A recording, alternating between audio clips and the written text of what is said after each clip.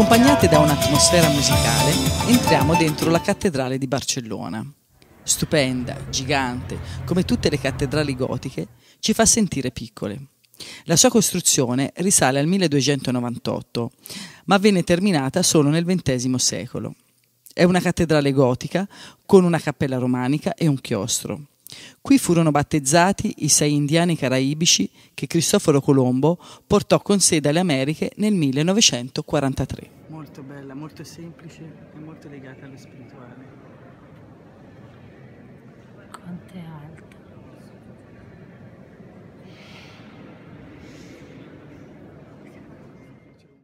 Nel centro di Barcellona andiamo a visitare il più grande edificio di Gaudì, commissionatole dall'industriale Eusebi Guel, cioè Palaguel.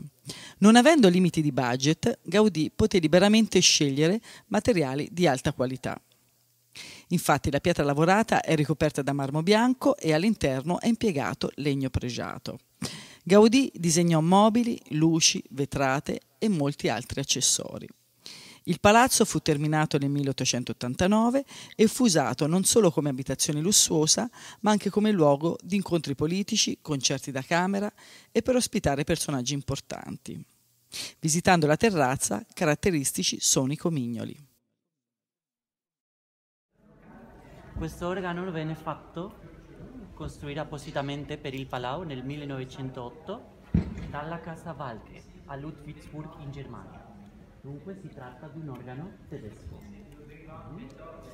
Purtroppo ha sofferto gravi, gravi problemi di eh, manutenzione, per cui le canne del, dell'organo si erano deteriorate e da partire dagli anni 80 circa smise completamente di funzionare. Ma il Palau decise di organizzare un, un programma raccolta fondi per eh, fare una ristorazione dell'organo e questo programma si chiamava Adotta una canna dell'organo. E grazie a diversi sponsor si riesce a restaurare questo organo inserendo un computer all'interno. Questo computer attiva le canne e fanno circolare l'aria all'interno, così oggi abbiamo due modi per suonare questo organo il modo tradizionale, classico, con la testiera. La testiera adesso è dall'altra parte del palco scenico, ma quando c'è un concerto di organo la mettiamo sul palco. Questo è il modo tradizionale classico.